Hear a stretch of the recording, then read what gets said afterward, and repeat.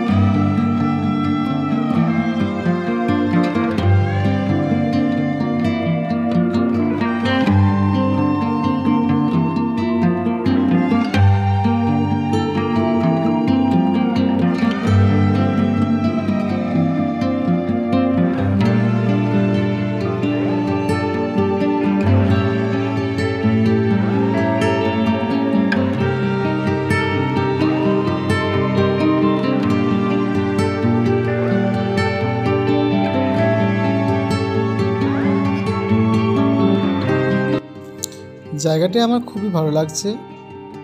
চারদিকে সবুজের সমারোহ এবং পিকনিক করার জন্য খুব সুন্দর অপূর্ব স্থান। যদি আপনারা পিকনিকও করতে চান, তার জন্য গ্রুপ ট্যুরের ব্যবস্থা আছে। কচি কাচাদের খেলার জন্য পার্কও রয়েছে। খুব সুন্দর জায়গা।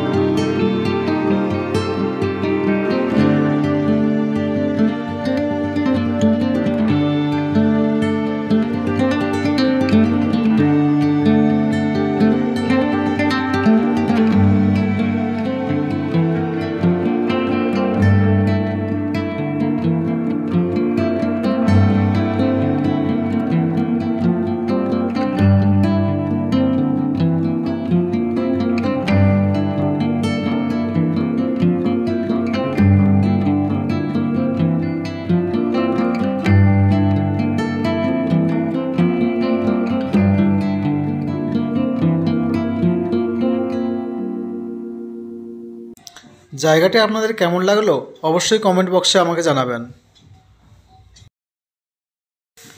আরও ভালো ভালো দর্শনীয় স্থান দেখতে আমার চ্যানেলটিকে অবশ্যই সাবস্ক্রাইব করবেন। আর বন্ধুদের মাঝে অবশ্যই শেয়ার করবেন যাতে ওনারাও আপনাদের ওই ভ্রমণ সম্পর্কে জানতে পারেন। ধন্যবাদ।